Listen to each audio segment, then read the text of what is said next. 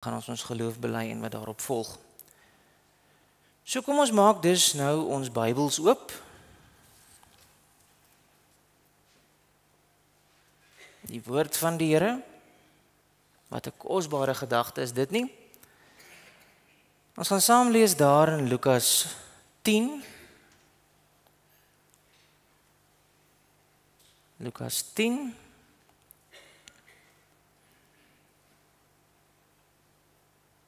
Ons gaan daarby vers 25 optel as ek reg onthou. Self het ook daar oopgemaak kry. Vers 25 tot by vers 28 gaan ons vanmôre saam lees. Ek gaan ook vir ons 'n gedeelte saam lees daar in Johannes 5. Maar kom ons kyk eers na Lukas 10 waar ons hoofgedagtes van môre is.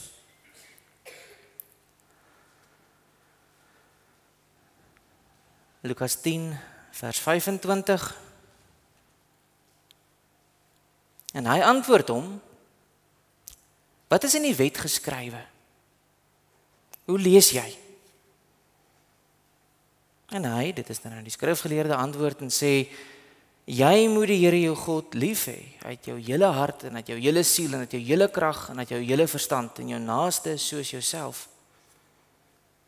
Toe sê hy vir hom jy het reg geantwoord. Doen dit en jy sal lewe.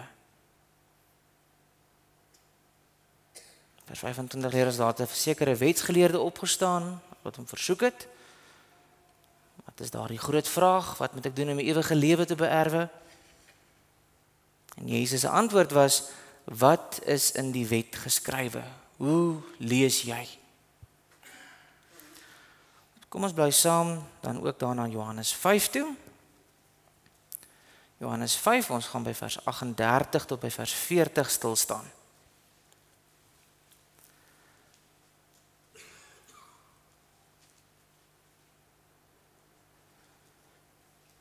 Nou hier moet ons in gedagte hou dat die Here Jesus verwytend teenoor die fariseërs en die skrifgeleerdes praat. Maar in die verwyte, hoewel hy die stellings in die negatief maak, is die implikasie van die stellings of die lesse wat ons uit die stellings uit kan leer ongelooflike groot positiewe stellings. Vers 38 En julle het sy woord nie as iets blywends in julle nie omdat julle hom wat hy gestuur het nie glo nie.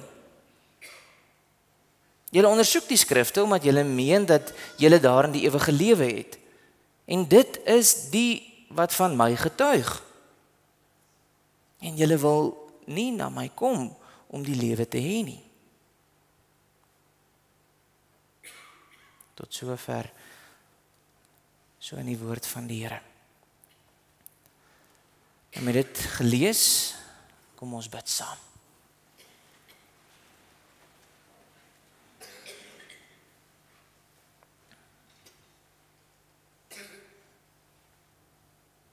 Ons Hemelvader in vrymoedigheid kom staan ons as gemeente voor u in u huis op hierdie môre wat u ons bymekaar geroep het. Here ons staan voor U met 'n vrymoedigheid wat nie ons eie is nie. Want in onsself het ons geen rede om rustig te wees as ons voor U staan nie. Nee Here, ons staan met die vrymoedigheid wat 'n ander ons gegee het, wat Jesus ons gegee het. Ons weet dat U 'n welbehae in U seun het, dat hy U geliefde seun is dat u u verheug oor sy werke. En is op grond van dit wat hy gedoen het in ons, deur ons, met ons vir ons. Dis as gevolg van Jesus dat ons voor U kan staan vanmôre. En nie net nie wil weghardloop nie o Here, maar selfs so ver wil en moet gaan as om U ons Vader te noem.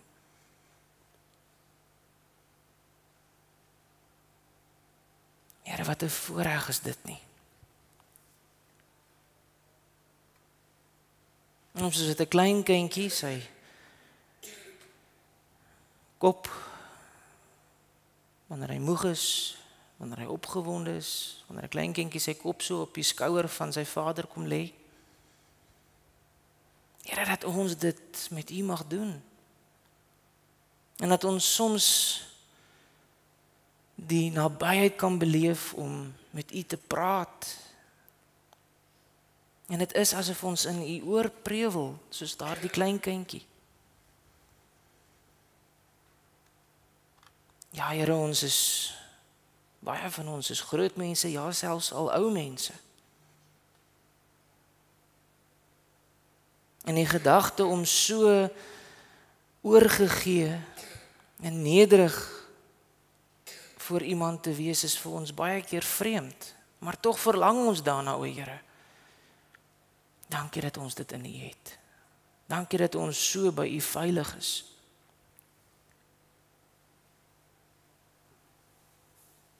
En hoe kosbaar is dit nie o Here dat U U woord vir ons gestuur het.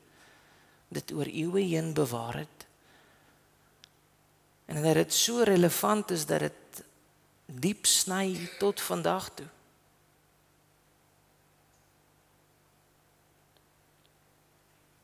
Maar Here, dis 'n klag teen u kerk.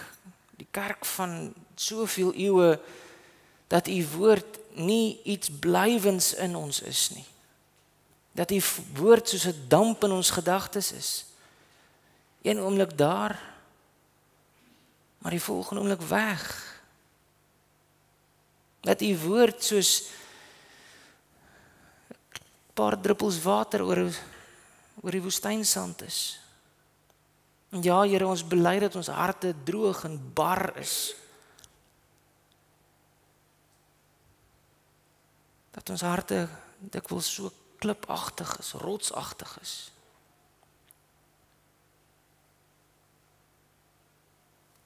Here, en dit is presies hoekom ons so sukkel om te glo wat U in die woord sê. Here, U weet dat dit maklik is om te bely dat dat die Bybel U woord is, Here, maar wanneer ons lees wat in die Bybel staan en ons hoor wat van ons verwag word, wat ons moet sê, ons moet dink, ons moet lewe, Here, ons skop ons vas soos wat 'n esel in eeue nie gedoen het nie.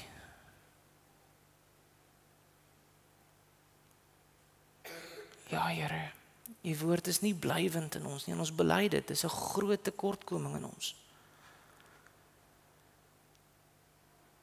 Vader, ons bely dit soos wat Paulus ook later skryf, ons leer en leer en studeer en studeer, maar ons kom nie tot die kennis van waarheid nie. Ons ondersoek die skrifte want ons weet dat die lewe daarin is, maar Here ons moet bely dat ons dikwels nie die lewe soek wat ons daarin kry nie. Ons soek 'n ander beter weergawe wat ons beter pas. En ons besef nie op hoe diep afgrond ons of oor hoe hoe diep afgrond ons hang nie. En hoe groot gevaar ons verkeer nie.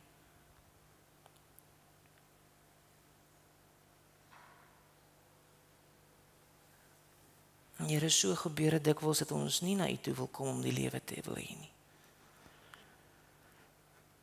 Maar waar by U is lewe te vind en U woord getuig van daardie lewe. En daarom wanneer ons vanmôre U woord ondersoek o Vader, gee dat ons opnuut nuwe waarde, nuwe gewig vir hierdie kosbare geskenk uit U hand uit sal hê. Dat ons dit nie terloop sal opneem nie. Dat ons dit nie as van sal spreek en sal ag nie. En dat ons dit as die skat sal sien wat dit is. Dat ons dit as die skat sal hanteer wat dit is.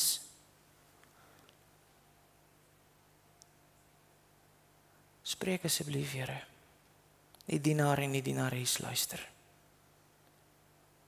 Ons bid dit in Jesus naam. Amen.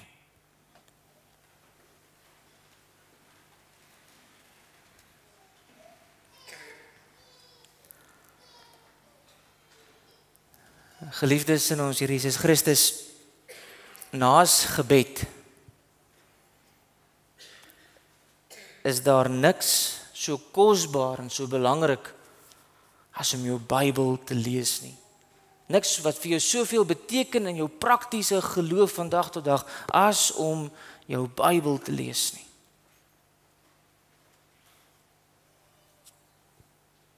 Want deur sy genade het God vir ons 'n boek gegee bladsye, papiere met 'n groot boodskap op. Hy het vir ons 'n boek gegee wat ons wys kan maak tot saligheid. Was baie selfhelpboeke in die wêreld. Boeke wat vir jou sê doen dit, doen dat, pas bietjie so aan, dink bietjie so oor die saak en jy gaan beter aan die ander kant van die proses wees. Dit is nie wat die Bybel doen nie. Die Bybel sê vir jou vlug in die in se arms in wat jou kan help, wat vir jou daar is en wat 'n verskil in jou lewe kan en gaan maak.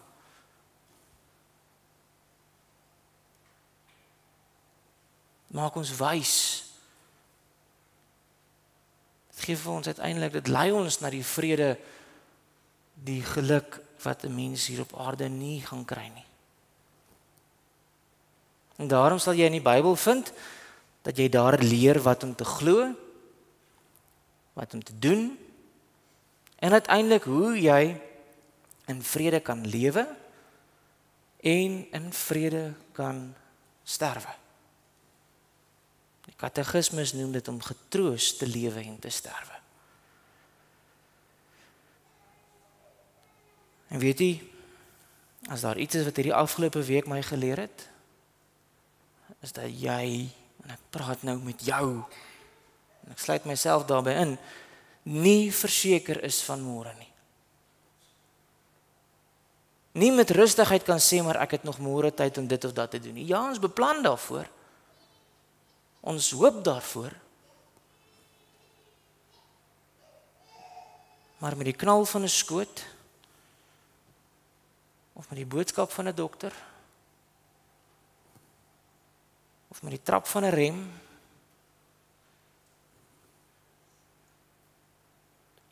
Of net met 'n gewone aan die slaap raak en net nie weer wakker word nie. Kan dit alles net so verby wees. Moontlik oor 'n oomblik of wat van nou af. Jy weet nie ek weet nie.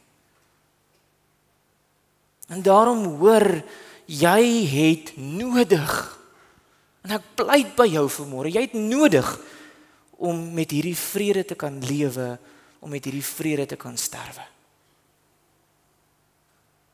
Moenie ligweg daaroor jaag nie.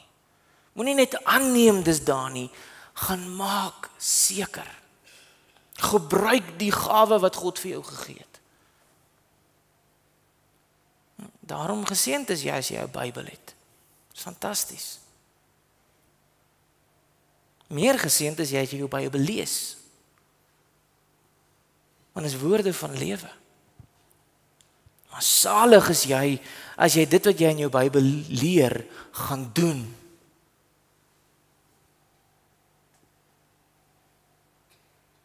Maar ons moet erken dat ons as mense die vermoë het, nie net die vermoë ook die geneigtheid het om God se goeie gawes te misbruik Die voorregte wat hy vir ons gee, word almal op een of ander vindingryke manier verdraai om ander doelwitte te dien as waarvoor God dit gegee het. Partykeer gee oupa en ouma vir Boetie 'n storieboek, juis met die gedagte van hulle wil hom liefmaak vir lees, maar in plaas daarvan om dan die prentjies te kyk, gebruik hy die boek om sy sussie oor die kop te slaan. Ons ken dit mos. Dit gebeur. Ons misbruik die goeie gawes wat ons kry vir doelwitte, doeleindes wat God dit nie voorbestem het nie.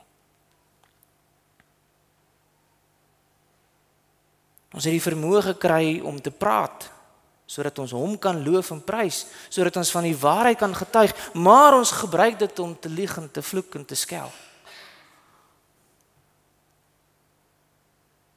Ons woorde moet met sout besprinkel wees leer die Bybel ons. Maar daar kom dikwels meer vrot uit ons monde uit. Ons het by die Here verbeelding gekry sodat ons die groot waarhede oor hom op nuwe maniere kreatief in ons lewens kan toepas. Dat ons kan sien daar's 'n waarheid en wow, dis wat dit beteken daarso. Maar in plaas daarvan dat ons dit doen, misbruik ons ons verbeeldings om ons in sonde te verlekker. Ek kan maar vir jouself dink hoeveel sondige verbeeldingsvlugte jy gehad het, nog steeds het. Ons het by die Here verstand gekry. 'n Intellek. Jy sodat ons in verwondering voor hom kan wees, sodat ons sy wysheid so 'n stukkie daarvan kan begryp. Maar ons misbruik ons verstande om te sê Here, maar ek dink nie daai is van toepassing nie. Daai is dan vir die ou tyd bedoel. Ek dink ek weet beter wat nou moet gebeur. Ek gaan dit eerder dit of dat doen. En weet jy, so kan ons met gawe na gawe na gawe wat die Here vir ons gegee het, kan ons dit deurwerk. En dan kan ons sien hoe ons dit misbruik. Die Here gee vir ons tyd. Die Here gee vir ons invloed. Die Here gee vir ons geld. Maar ons gebruik dit dikwels vir alles behalwe die Here.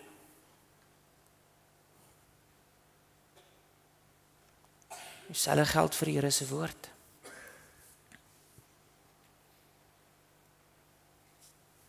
Die een groot aanklag wat daar teen die Christendom gemaak kan word. En nie net vir nou nie, oor eeue en eeue en eeue heen. Die een groot aanklag wat daar teen die Christendom gemaak kan word, is dit ons God se woord of verwaarloos. Een kan sit. Of misbruik. Boodskappe daarin bou wat nie daarin is nie. Dinge daar uithaal wat nie daar is nie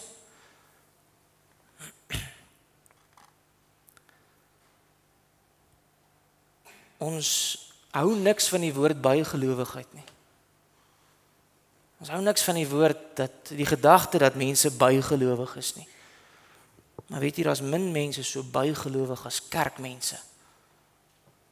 Ons wil 'n Bybel in die huis hê, dit hoort so. Hoe kan 'n huis geseënd wees as daar nie 'n Bybel in die huis is nie? Maar ons maak nie daai boek oop nie. Ons lees nie wat daar staan nie, ons doen nie wat daar staan nie. Maar ons wil 'n Bybel hê. Dis bygelowigheid. Dis om te dink dat die papiere in die in die in die in die naam vir jou iets meer gaan beteken as as die Here self. Dis 'n verskriklike klagte teen die kerk. Dis 'n verskriklike klagte teen ons.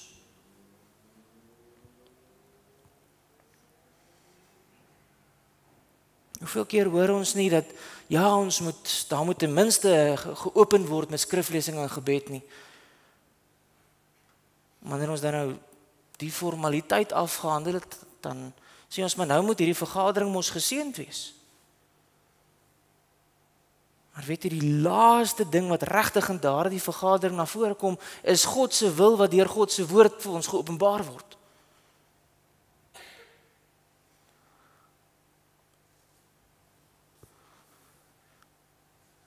Net om my punt te staaf broers en ek praat nou spesifiek met die kerkraad hierso.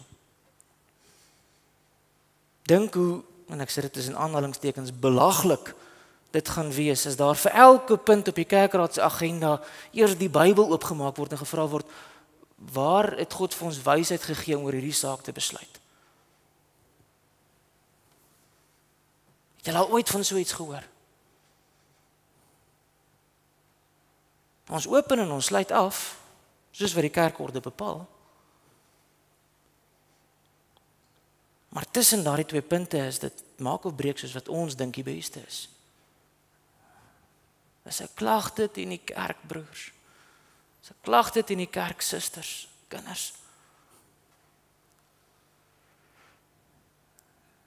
En as ons op hierdie punt sou kom en reageer en sê maar ons het nie die kundigheid om om om so met die Bybel te kan werk nie, dan moet ek duidelik dadelik vra maar hoekom nie? Jy noem jou dan self dan 'n Christen. Hoekom nie? Dis nie as jy vir die Bybel gister gekry het en nog nie kans gehad het om voor te berei nie. Jy het tog met hom groot geword nie waar nie.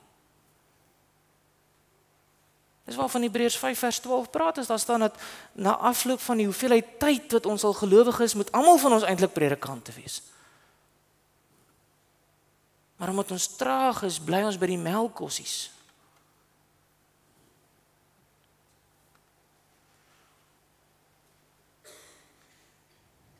En daarom moet ek dit duidelik uitlig dat ons dikwels vergeet dat om 'n Bybel te besit en om 'n Bybel te lees twee baie verskillende dinge is.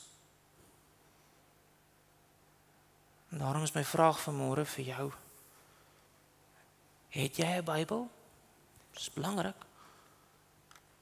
Maar lees jy jou Bybel? Spandeer jy tyd in jou Bybel? Gereeld dit is besonder ons lees dat die Bybel deur God ingegee is. Dis wat die boek so besonder maak. In 2 Timoteus 3 vers 16 staan daar letterlik dat God die Bybel of sy woord uitgeasem het. Dis asof God in 'n sekere sin vir ons kom sê dat sy lewensasem vir ons hierin vasgevang is.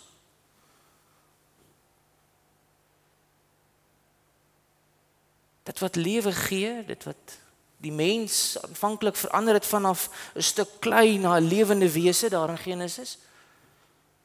Iets daarvan is vir ons vasgevang en veronderstel om om ons dooie siele lewe te gee.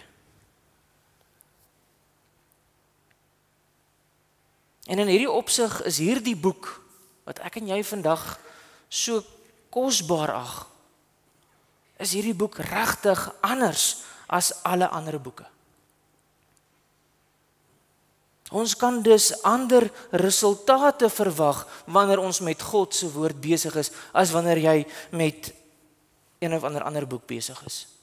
Jy kan dus verwag dat hierdie boeke ander effek op jou hart sal hê, op jou lewe sal hê as selfs 'n goeie kommentaar op die Bybel. Hierdie is God se woord. Dit wat hierso staan kom van God af. Ja, hy het mense gebruik om dit neer te pen. God het hulle die gedagtes en die idees gegee, het hulle penne gelei om te skryf wat hy wou hê hulle moes skryf. En daarom kan ons sê ja, dit was Dawid se vingers wat die harp gespeel het, maar dis God se woorde wat hy gesing het. Is Moses se bytel gewees wat daar op die kliptafels gewerk het aanvanklik, later het God dit met sy vinger geskryf of uh, eers het God dit met sy vinger geskryf en toe moes Moses dit met die klip uh, op die tafels uitbuitel. So ja, dit was Moses se bytel geweest. Moses wat moes skryf wat God gesê het, maar dis God se woorde.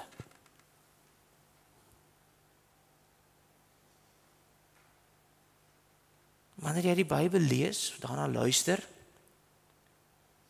weet asseblief, dis nie mense idees nie. Hierdie gedagtes kom nie van mense af wat sondaars is soos ek en jy nie. En weet jy die Bybel is die boek wat die beste daarvan getuig dat hy van God afkom. Wat die beste bewyse vir ons kom gee dat hy van God afkom. Dat dit God se ewige woord is. Ons hoef nie tyd te mors om in lang redenasies daarin te gaan nie. Maar ek wil wel 'n paar dinge vir ons kom uitlig. Ongelowiges sê dikwels dat dat hulle sukkel om vee verhale en ek sê dit weer tussen aanhalingstekens, hulle sukkel om vee verhale te glo. Dat dat dit vir onmoontlik is vir hulle om te dink dat iemand uit die dood uit opgewek is. Dit stryk net nie met realiteit nie sê hulle. gaan kyk 'n mens egter regtig in diepte en eerlik na dit wat op die tafel is as 'n mens oor die Bybel praat, dan kan 'n mens nie anders as om tot die gevolgtrekking te kom dat die Bybel nie net waar is nie, maar dat ons absoluut nodig het om op dit wat die Bybel ons leer te vertrou. Die enigste logiese eerlike gevolgtrekking as jy eerlik na die Bybel gaan kyk is om te sê dat die Bybel van God afkom. Daar is geen ander moontlikheid nie. Dit dat prof Koos Arendorf so rukkie terug gesê het hy kan nie help om te glo nie. Vir hom lyk dit of dit meer geloof vat om 'n ateïs te wees as om 'n gelowige te wees. So oorweldigend is die getuienis vir die saak van die Bybel. En ek wil dus die stelling maak om te sê die Bybel, dit wat ek en jy hierso vashou, is 'n wonderwerk van God af. Ons geen ander verklaring nie. Hy wat dit waag om te sê dat die Bybel nie geïnspireer is nie, moet 'n redelike verklaring kan gee vir die feit dat daar geen ander boek is wat oor 'n tydperk van 1000 jaar deur 40 manne in drie tale op drie kontinente geskryf is, maar dat daar tog net een boodskap in die hele boek is nie. Hoe verklaar jy dit?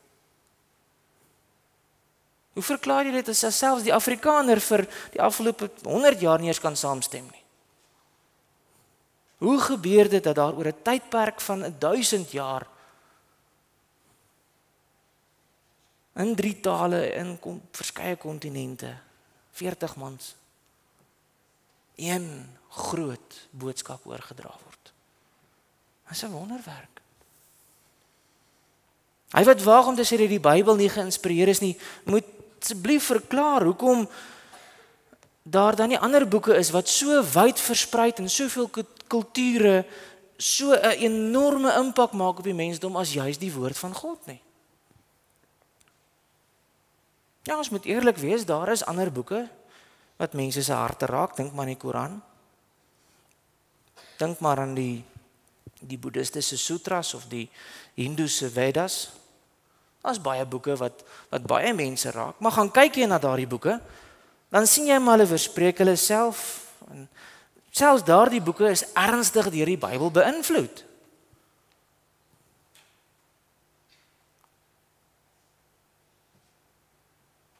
Die Koran self verwys dikwels gereeld na dinge wat in die Bybel gebeur het wat net van die Bybel of net in die in die Bybel geleer kan word.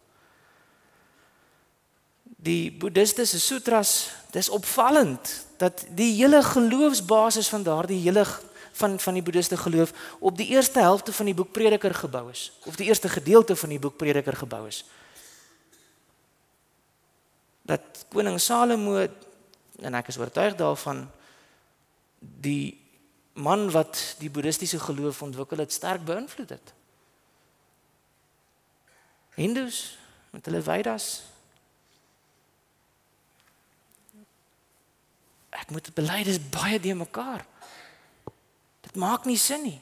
En tog is daar soveel raakpunte met Genesis en die Vedas verstaan ons dit in dieselfde tyd as die boek as, as die vyf boeke van Moses ontstaan. Dis oud. Maar as geen ander boek wat so 'n invloed het, so wyd verspreide invloed het, so lank en so blywend 'n invloed het, so groot verskil maak as die woord van God nie. Ek kan nie tot 'n ander slotsom kom om te sê maar hierdie is God se woord nie. Hierdie is waar God sy mond oopgemaak het en met ons kom praat het nie.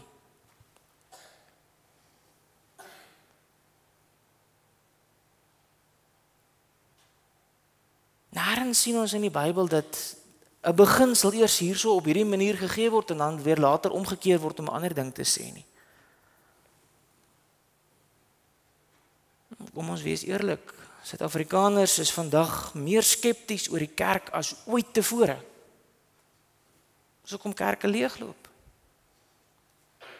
Want die kerke het vir die afgelope ruk die geneigtheid gehad om eers een ding onomwonde as die waarheid te verkondig en dan 180 grade om te draai en môre word totaal die volgende ding as die waarheid as die evangelie verkondig. Ek sou ook vertroue verloor het in die kerk as ek nie in God se woord gegrond was nie.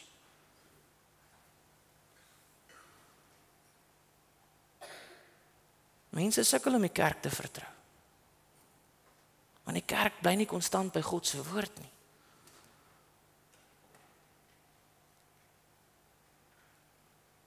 Maar geliefdes, ons moet versigtig wees om die kerk en die Bybel met mekaar te verwar, want die kerk is nie die Bybel nie.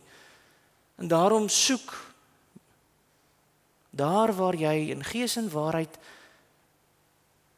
die Bybel kan leer ken en God kan aanbid, soos wat die woord jou leer. Altyd, altyd, altyd aan die woord van God gebonde, want dit is wat God vir ons gegee het om daardie enorme verskil in ons lewens te maak.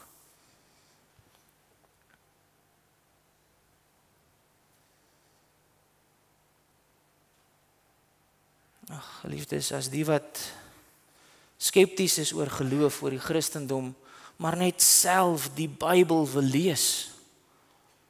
Nie net boeke oor die Bybel nie, nie net oor die Bybel wil praat nie, nie net gedagtes wat in die Bybel is wil bespreek nie, maar dit wat daar staan self wil lees.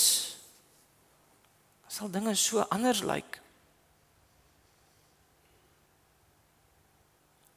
Geliefdes, daarom kom die vraag van môre na jou toe. En dis 'n belangrike vraag. Lees jy jou Bybel? Nie net boeke oor die Bybel nie. Nie net YouTube video's oor die Bybel nie. Lees jy jou Bybel? Luister jy na jou Bybel? Hoeveel moeilike vrae en besware sal nie onmiddellik verdwyn wanneer 'n mens regtig eerlik die Bybel gaan bestudeer nie.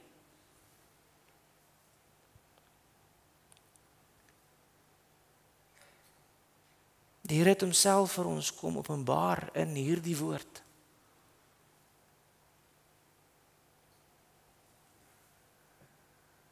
Hy het homself vir ons kom bekend maak. En deur eeue heen, deur soveel teestand heen, waar soveel probeer het om die Bybel eenkant toe te stoot of te verander of selfs te vernietig, het God gesorg dat daar 'n Bybel behoue gebly het. Soveel sodat ek en jy hom vandag in Afrikaans kan lees sodat jou Here met jou kan praat. Sodat jou Here jou in jou taal kan aanraak.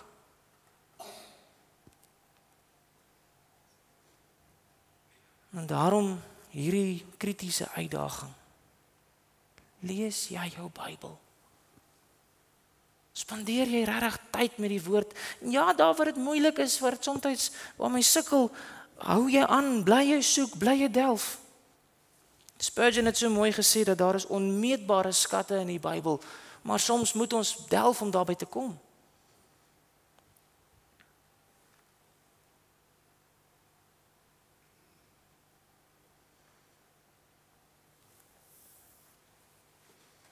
Geliefdes, hierdie woord van die Here het ons 'n skat want ons leer die Here self ken. Maar ons het ook 'n skat omdat dit ons na die ewige lewe lei. En daarom, as jy soos daai ryk jong man moet kies, gaan jy as daar net twee opsies is, een is 'n Bybel en die ander een is net so groot hoop geld. Watter skat gaan jy vat? Wat gaan vir jou swaarder weeg? En op eerste oogopslag kan die vergelyking dalk belaglik klink, maar weet jy, dink mooi daaroor. Jy sal besef is glad nie so 'n belaglike vergelyking nie. 'n Bybel wat 'n ewige skat is wat tot groter en ewige skatte lei wat vir jou meer gaan beteken as 'n hoop geld in die ewigheid en daarna of iets wat tydelik vir jou 'n bietjie plesier en sekuriteit gaan gee maar ook maar soos laasman se salaris gaan verdwyn. Wat weeg vir jou swaarder? As jy iets sinvols vir jou kinders wil doen, wat gaan jy vir hulle gee? Op geld? Wat gaan verdwyn? Of ewige skat? Ken jy jou Bybel? Lees jy jou Bybel? Wat my dan ook by die volgende vraag bring en ek kom met die vraag afsluit. As die Bybel dan werklik so 'n groot skat is. Hoekom verwaarloos ons hom aan die een kant? Maar hoekom word dan nie baie meer Bybels uitgegee nie? Hoekom spandeer ons nie soveel meer tyd en energie om Bybels kosbaarhede vir die mense rondom ons te gee en hulle te leer en te lei om regtig in die Bybel besig te wees nie? Is dit nie 'n aanklag teen ons? Dat ons aan die een kant met ons mond bely dat die Bybel een van die grootste skatte is wat na die grootste skat lei maar dat ons tog sê nee wat van maandag tot saterdag moet ek dan met ander lekker dinge besig wees. Sondag kan ek weer met met met hierdie kosbare skat besig wees nie. Bely ons nie eintlik maar dat ons nie regtig weet wat in hierdie skat aangaan nie. Lees jy jou Bybel? Ken jy hierdie kosbarehede? Het jy die vrede van God waarmee jy in vrede kan lewe en in vrede kan sterwe. Mag die Heilige Gees ons lei en ons genadig wees. Amen. En geliefdes, met dit in gedagte kom ons bly daar na Markus 8. Markus 8 waar ons die wet gaan bekyk. Opsomming van die wet